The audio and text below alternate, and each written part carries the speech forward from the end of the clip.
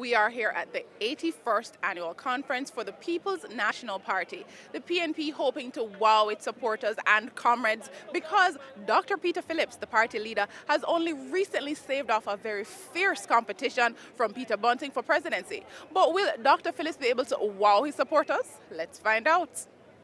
Comrades turned out in their numbers on Sunday to listen to recently returned party leader Dr. Peter Phillips speak at the 81st annual conference. Dr. Phillips was able to successfully fend off a leadership challenge from fellow comrade and Member of Parliament for Central Manchester, Peter Bunting.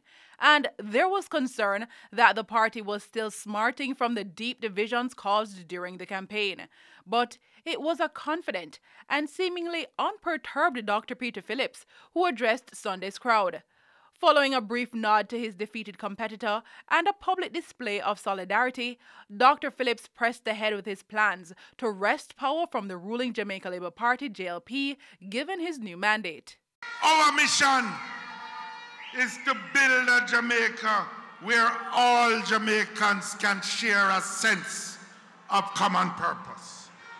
We want a Jamaica where everyone, not just a few, have a chance to step up in life. We want a Jamaica where first class health care is available to all the people. We want a Jamaica where enterprise and hard work is rewarded, whether you're a small business or a big businessman or just a higgler in the market. We want a Jamaica where creativity is promoted and where criminality is replaced by business activity. We want a Jamaica, in this Jamaica that we want, workers will be properly rewarded and treated with dignity. Dr. Phillips says the PNP is here to rescue Jamaicans from a corrupt and ineffective government. He says addressing the breakdown of the family structure is crucial to curbing the crime problem crippling the country. I want to say something that you don't often hear from politicians. But if we're going to succeed in building the kind of Jamaica that all of us dream of, a Jamaica that is wealthy, where everyone have a fair chance, where everyone care for each other, where we have low levels of crime, we're going to have to do something about the quality of family life in our country. All the evidence shows that two children who grow up with two parents involved in their lives, nurturing them, loving them, perform better in life than those who don't have that. And yet in our country, more than half of our children are in single parent homes. You can't legislate these things. You have to persuade and we intend in the next PNP government, in the Ministry of Social Transformation that we will form, we intend to set up an institute for healthy family life to encourage people along with churches and unions and community groups to encourage people to know and value and respect the virtues of family life. He says reforming the police force and collaborating with international agencies will be required to address the crime situation. We will have to reform the police force, and at the same time, we have to build up our intelligence gathering capabilities. And you have to have international cooperation. But hear me, it can't be just state of emergency alone. You need something more, a comprehensive plan.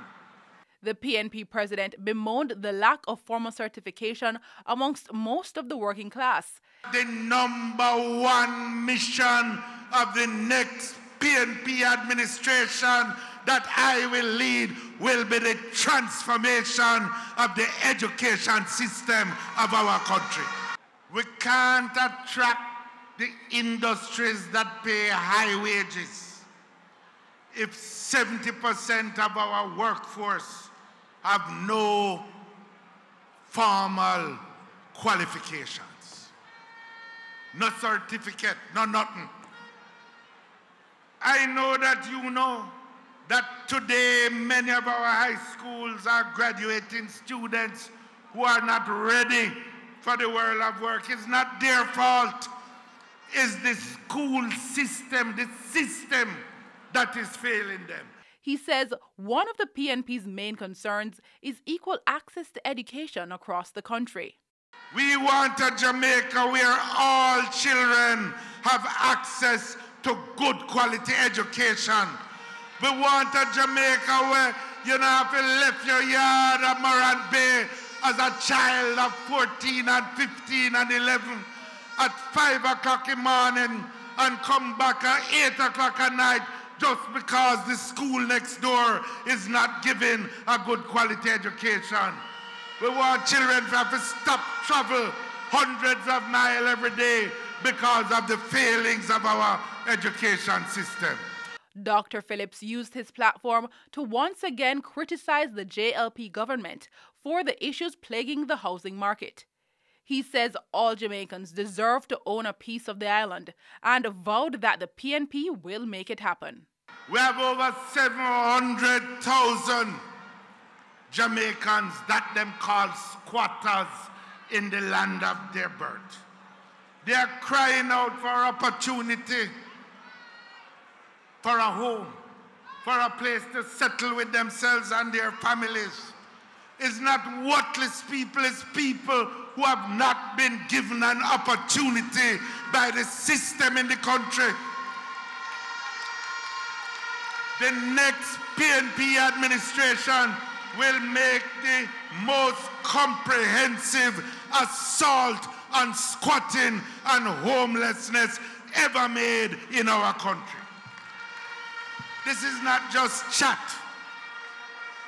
We are going to amend the laws. We have identified them, over 50 laws, and we are going to amend them to provide a pathway to land ownership for those 700,000 people where them say no live nowhere.